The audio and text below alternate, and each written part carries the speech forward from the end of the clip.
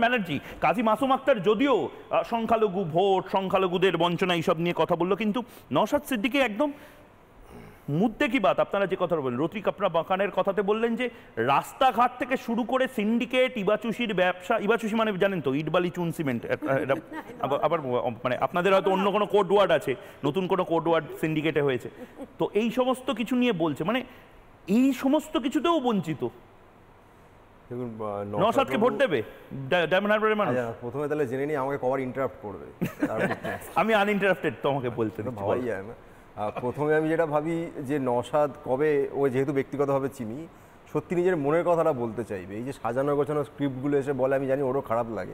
নাহলেও এইটা কখনোই বলতো না যে একটা সংসদীয় ক্ষেত্রে রাস্তা খারাপ বা ড্রেন খারাপ বা আলো নেই বলে সাংসদ দায়ী। একজন সাংসদ সে যে দলেরই হন তার রাস্তাঘাট নিয়ে কিচ্ছু করার নেই আইনতই কিছু করার নেই। এটা নসাদ কিন্তু জানে তাও এটাকে বলতে অনির্বাণ আমি আমি তোমাকে বলেছি আমি ইন্টারাপ্ট interrupt করব না কিন্তু তুমি হ্যাঁ। দরকার হলে একদম সিংহবাগ সময়টা নাও। কিন্তু কেন তুমি এই ধরনের সাজানো বুলি বলো? আমি জানি তুমি আইনজীবী তোমাকে আমাকে বলো, ডিফেন্সিভ থাকতে হয়। আমাকে বলো, অভিষেক বন্দ্যোপাধ্যায়ের কি দায়িত্ব ছিল? ভ্যাকসিন দেওয়া? Abhishek Bandyopadhyay double double vaccine diamond দিয়েছেন। অভিষেক বন্দ্যোপাধ্যায়ের কি দায়িত্ব দায়িত্ব ছিল। বিদেশি বিদেশি ফুটবলারদের নিয়ে আসা বড় বড় সংগীত শিল্পীদের নিয়ে আসা এবং যাবতীয় যা উন্নয়ন হচ্ছে তার দায়িত্ব ক্রেডিট নিয়ে নেওয়া ডায়মন্ড হারবার এবং একটা ডায়মন্ড হারবার মডেল চালু করা। মানে সাংসদ- নিজে সাংসদ নিজে যখন এই ক্রেডিটটা নিচ্ছেন তখন সাংসদকে প্রশ্ন করা যাবে না। তখন প্রশ্ন করতে হবে কাউন্সিলরকে পঞ্চায়েত সমিতির সদস্যকে। বা যে দেওয়াল লেখে তাকে। বলুন প্লিজ আনইন্টারাপ্টেড বলুন। কিন্তু পয়েন্টে বলুন। হ্যাঁ আমি তো পয়েন্টে আমি খুব স্পেসিফিক কনস্টিটিউশনাল প্রভিশন অনুযায়ী যেটা আছে আমি সেটা বললাম। তোমার পছন্দ হলেও আমার কিছু করার নেই না হলেও কিছু করার মানুষের নেই। পছন্দ হচ্ছে না। আইন প্রণেতার কাজ মানুষের পছন্দ না হলে কিছু করার নেই সত্যিটা সত্যি।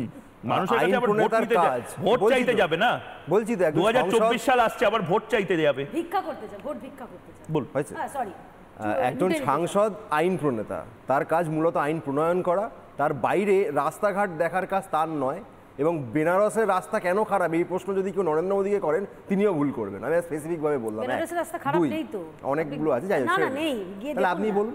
লাস্ট কবে আপনি তাহলে বেনারস ডায়েরি বেনারস নিয়ে আপনি বললেন বলে আমি বলছি। আমি আগের বেনারসের যে কোনো উদাহরণ জনতাকে জিজ্ঞেস করুন। আমি তৃণমূলদের বলছি না ওখানে তো আবার সিন্ডিকেট কাজ নেই। হয়ে গেছে? আরে আমার হয়ে গেছে আপনার হচ্ছে না।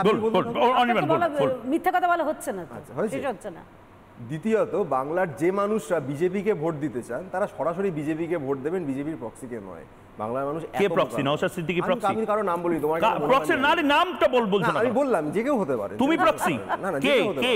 সেটা যে কেউ হতে পারে আমি বলছি না যে নসাদ না, উনি তোমার কেন মনে হলো না কিন্তু যদি বিজেপিকে দেওয়া হয় ডাইরেক্ট বিজেপিকে দেবে না হলে ধরো বিজেপি বলে এনআরসি ভালো আবার তার প্রক্সিরাও বলে এনআরসি ভালো অরিজিনালকেই দেবে কপিকে কেন দিতে যাবে তুমি জানো এনআরসি ভালো কে বলে এই বাবা মমতা বলেছিল একসময় সিএ কোনোদিন বলেনি। তাহলে মমতাকে তাহলে বিজেপির প্রক্সি আমি জিজ্ঞেস করছি আপনাকে। এনআরসি